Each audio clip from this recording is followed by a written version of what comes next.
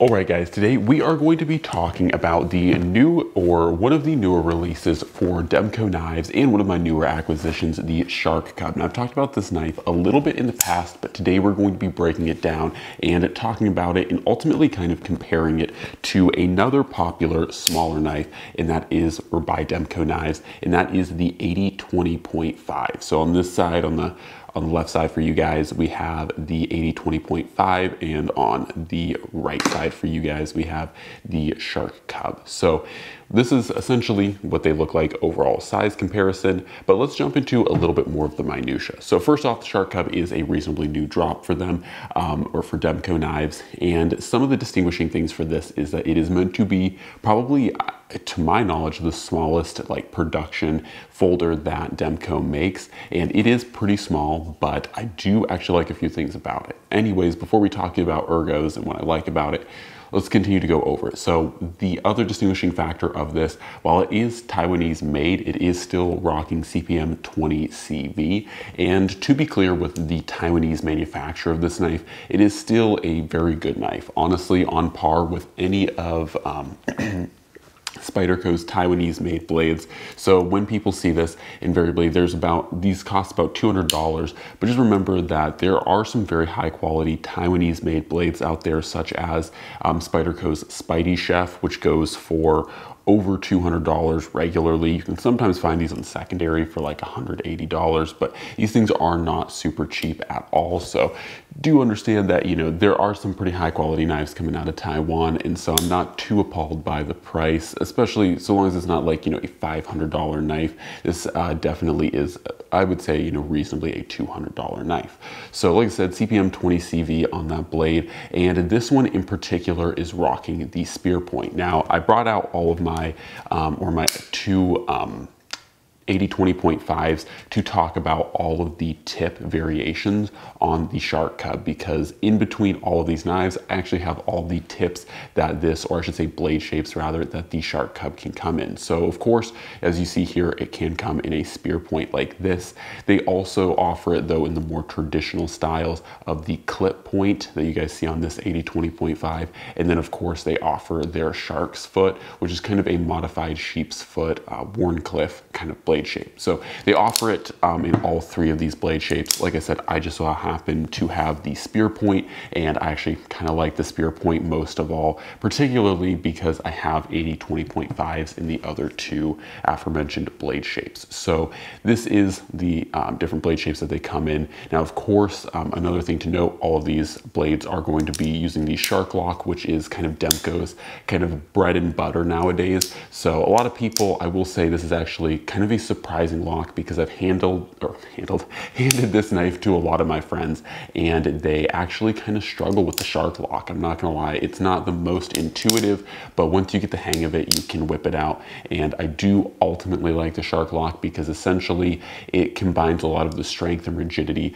of a lock back, but with a one-hand user operation. So you can use this you know, one-handed and also to, like other people have noted, this is one of those nice blade shapes that or sorry, lock shapes that, or lock styles, I guess you'd say, that you don't have to worry about readjusting your hand. So unlike a liner lock or a frame lock where you have to get your hand out of the way of the blade, this you do not. So I am a pretty big fan of those uh, kind of reasons of the shark lock. So lastly, the other thing that I find um, interesting and the other thing that I like about the shark cub is that you'll notice in here they have removed um, or taken a more minimalistic uh, kind of stance towards the liners of this knife. So this knife follows what I would kind of consider a Griptilian style lock or liner mechanism. So realistically, there are steel liners on this knife, but only where the locking interface is. So the locking interface is steel reinforced, but the rest of the handle is just plain G10. And so that probably cuts down on cost a little bit, but does also cut down on weight. And this is important to note because the 80-20.5s are fully, um, they have full embedded steel liners. So hopefully you guys can see here, not sure how well it will pop up on camera, but these do have full steel liners. Like I said, they are um, embedded, so they are, they're not like super visible from just a side angle, but these do have full steel liners and you can definitely tell when you pick up a Shark Cub versus an 80-20.5, there is a significant weight difference, even though there isn't a significant height or length difference. These are actually fairly similar in size, just the Shark Cub's a little bit lighter. So anyways, um, let's talk about direct comparison versus these two knives. So like I said, the Shark Cub is designed to be one of um, Demko knives, like I think their smallest production knife, and it does show, as you guys can see here, hopefully, um, this is a little bit smaller. It's not honestly significantly smaller, and so I'm not really like that upset with the size on it. I don't mind it at all, um, but it is a little smaller. So the other thing to note is that it does follow a very similar, um, you know, overall path. So this is the Shark Cub. So this is not designed to be like a radical change from this. The only primary difference is obviously a little bit shorter and you kind of lose some of this um, like flare at the end. And so take it for what it's worth. But to be honest, a lot of the ergonomics are very similar, if not the same. The other thing I like and appreciate that the Shark Cub ditched is that on these uh, 80-20.5s, similar to the 80-20s, they have a kind of like dual opening mechanism where, as you guys can see here, you have a thumb stud and an opening hole or opening slot, as you will. And so I'm not really sure why that is because unlike on certain knives, like say a Strider SNG or a Hinder, where those little like studs actually act as the stop, like they act as a um, stop stopping point for the like folding knife. These are purely cosmetic or for opening. So these do not interface with the locking mechanism at all. They don't tension it. So it kind of is confusing to me that they have these, you know, like dual redundancy, especially on top of a knife that once you get good, you can, you know, just throw the knife out with the locking mechanism as well. So a little bit of an over redundancy in my opinion that I'm glad that they got rid of when it comes to the Shark Cub because what they did with the Shark Cub is they just enlarged that slot so that it's easier to just spidey flick out or to slow roll if you wanted to. So those are some notes about it. As far as um, clips go, basically the same. They're gonna be deep carry clips, so not a whole lot has changed there. Of course, um, the Shark Cub as kind of goes with more of a high-end knife as opposed to a little bit of a lower-end knife like the 80-20.5 they have ditched the backspacer and just gone with standoffs. So I like it. Um, I will say there are quite a few um, screws and stuff. There are quite a few screws in this and so about the same as you know an 80-20.5 but it's not a minimalistic design as some knives are. But it's really not a huge deal in my opinion. It's just fine. So as far as it goes, here's the other um, 80-20.5 I have. Like I said, pretty much the same kind of concepts here, but the thing that I do like, um, like now kind of just talking about things I like about the Shark Cub.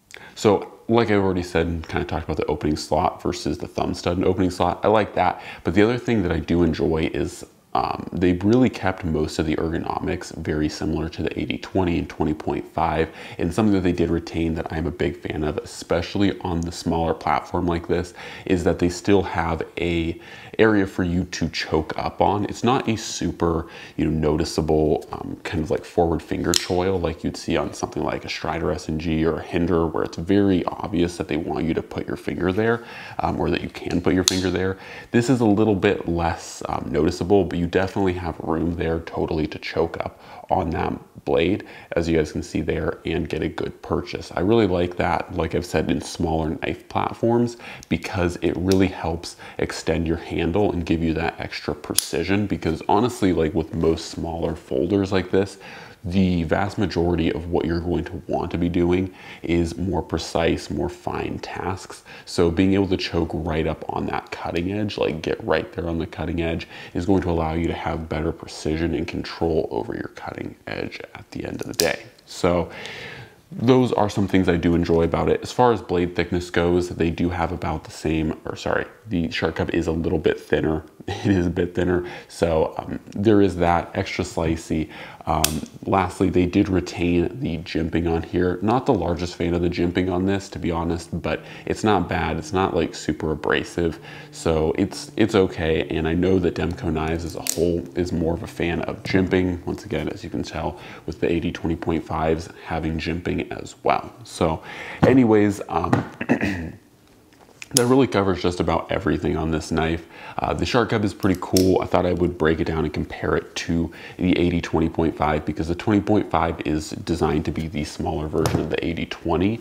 And so uh, this Shark Cub is designed to be the even smaller predecessor or um, successor, I should say, to the uh, 80-20. So anyways, hopefully enjoyed that brief overview and kind of look at those knives in comparison to the 80-20.5. Anyways, guys, hopefully enjoyed the video. As always, God bless, and I'm out.